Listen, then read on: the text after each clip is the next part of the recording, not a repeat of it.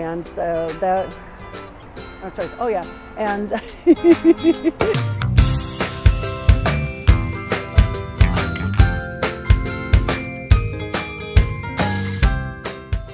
Well, my name's Holly Born and I'm a reviewer and inspector for QAI and my specialty is livestock.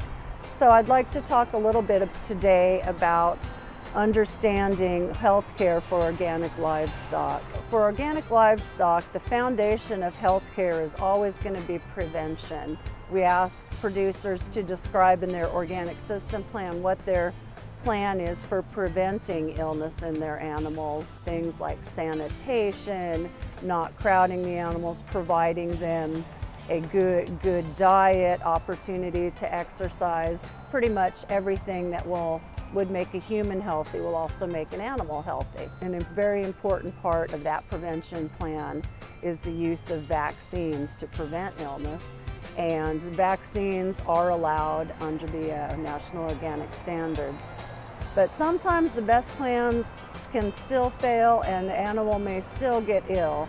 And in that case, you'll want to look at what kind of medical treatments are you allowed to use. Before we get into that, I want to differentiate between what is a medical treatment and what is not because there are a lot of products such as microbials or vitamins that can be used either to treat an illness or as a feed additive and they're both reviewed very differently and they both have very different requirements. So it's really important to be able to know which is which.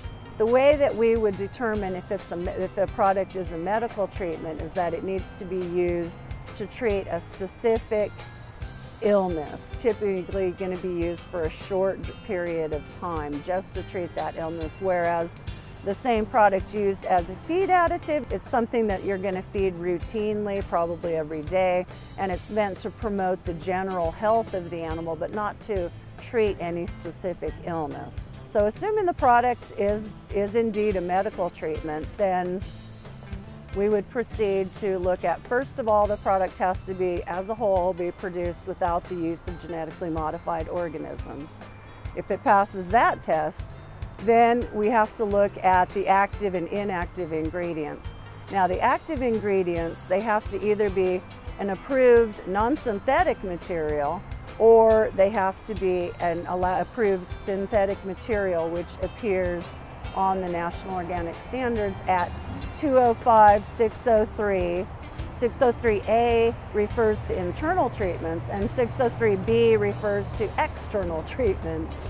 Assuming the active passes, uh, passes that test, then we go and we want to look at the inactive ingredients and otherwise we refer to those as excipients. Excipients are things like colors, flavors, lubricants, carriers, and so on. Um, and to be able to, for the excipients to qualify, they need to be approved by the FDA either as generally recognized as safe, as a food additive, either a direct or indirect food additive, or approved by the FDA as a new animal drug application or a new drug application.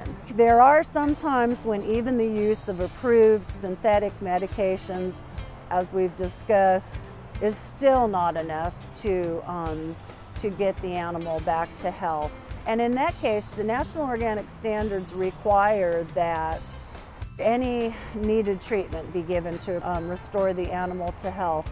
And so there are pretty much treatments that are going to be prohibited is everything that doesn't meet the criteria that we just talked about.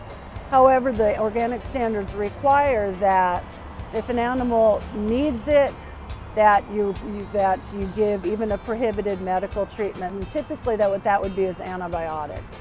And that will knock the animal out of organic status. However, you're not allowed to withhold any needed treatment just to keep the animal organic. You need to do whatever you need to do to get that animal back healthy and good condition and if it's received antibiotics or prohibited treatment then typically it would need to leave your organic herd or flock. But the main thing to remember is that always, you know, your health, the, the livestock come first